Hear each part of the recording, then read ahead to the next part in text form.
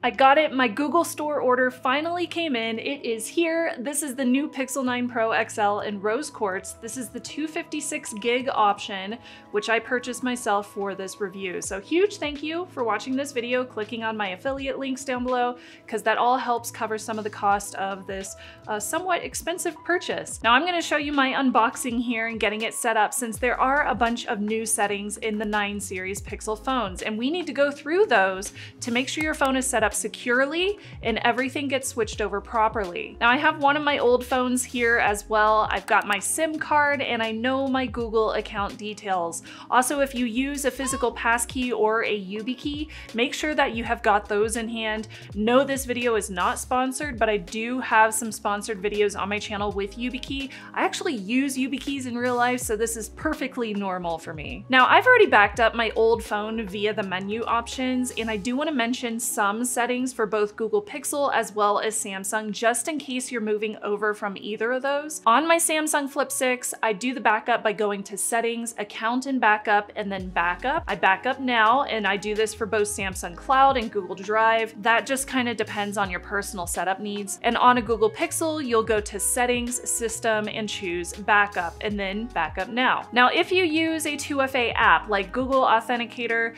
Yubico's Authenticator, or Authy, you may want to temporarily turn on backup so that you can easily switch the 2FA app over to your new phone without having to reset up all the different 2FA accounts. So I'm gonna use Authy for this example from one of my previous phones. I go to settings, accounts, turn on backup, and allow multi-device. Now you'll notice here, you can just disable multi-device and backups later on your new phone if you prefer that more secure option, and I highly recommend doing so. Now similarly, if you use any third-party apps like WhatsApp for messages, go into the settings for those apps and make sure that you have backed up whatever data that you want to keep. On my new Pixel, this thing is really pretty. I'm gonna follow the on-screen setup directions to add my SIM card and then copy my old phone data onto this new phone. Now that also includes getting connected to Wi-Fi and 5G, and while it's doing that, the Pixel is gonna ask me to turn on some settings. Now these are really important. This is the part that I really wanted to dig into,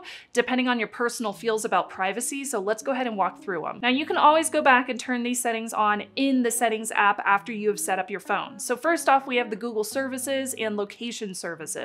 That includes allowing apps with location permissions to use your location. Google also uses this data for location-based services and accuracy.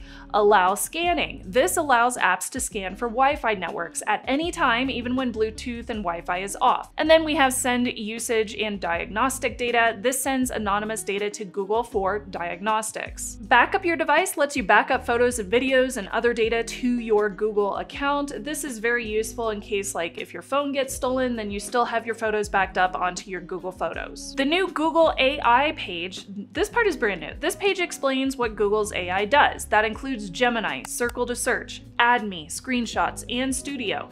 The next page allows you to either enable Gemini or skip it entirely by scrolling down and then pressing Not Now, which only appears after you have scrolled down. So make sure you scroll down to find that button.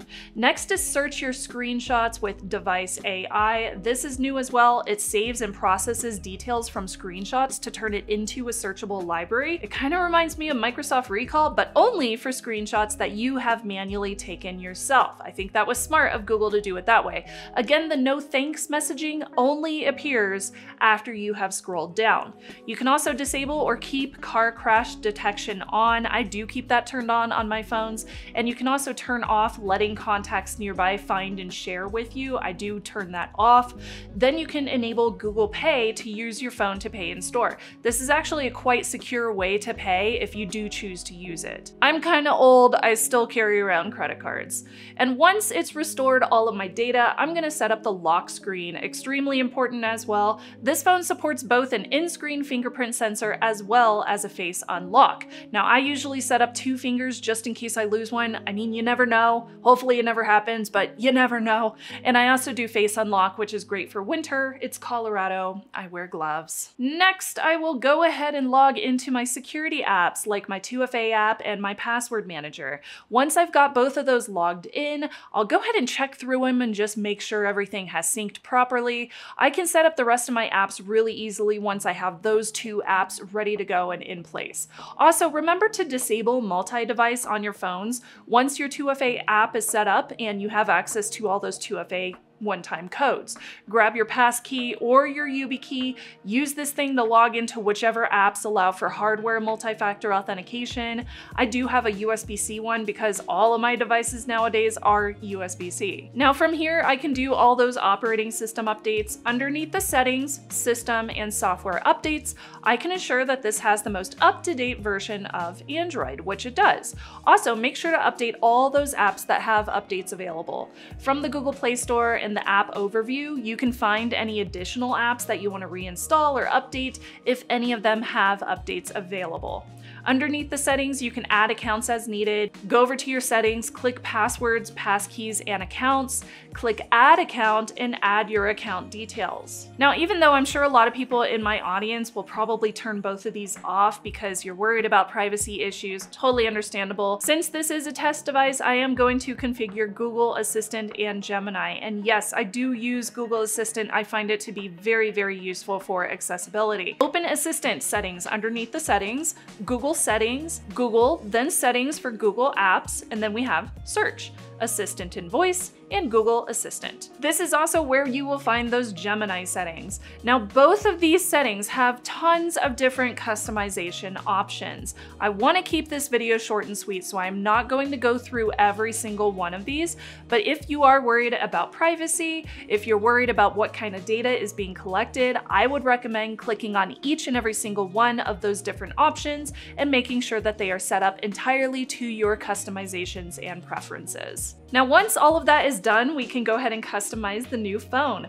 Do not forget to restart, to install all those updates, and you should be all set to start using your new phone. Now, my phone has just arrived. I got a consumer shipment. This was not under embargo or anything like that, so I am going to be taking my time with a review to give you a very, very solid representation of what you can expect if you're planning to purchase one of these brand new and beautiful Google Pixel 9 Pro XLs. My first impressions are that it it feels really high quality. It looks really nice. It is very quick and very zippy. I appreciate that. And it seems like the Wi-Fi speeds on here are really, really nice. So I am quite pleased with what I have seen so far, but again, I just took this thing out of the box, I just set it up, and first impressions can always change. So I do recommend subscribing if you have not already. Thank you again so much for checking out this video. I hope you get your Pixel set up to your preferences, and of course, keep those security and privacy details in mind while you you are setting your own up. I hope this video was useful and I'll see you next time. Bye y'all. I keep staring at this phone and thinking that it's an iPhone sitting next to me. This thing looks a lot like an iPhone.